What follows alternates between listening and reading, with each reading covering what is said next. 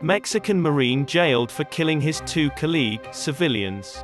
The Mexican Navy has said that a Marine was detained on Sunday on suspicion of murdering two of his fellow service members and a lady at a military base in the country's northern region.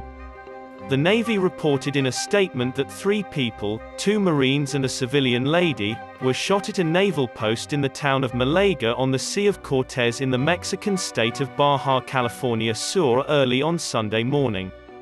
The Navy did not provide an explanation for the assault and said an inquiry was underway. The suspect's identity, his rank, and the identities of the victims were not disclosed in the statement.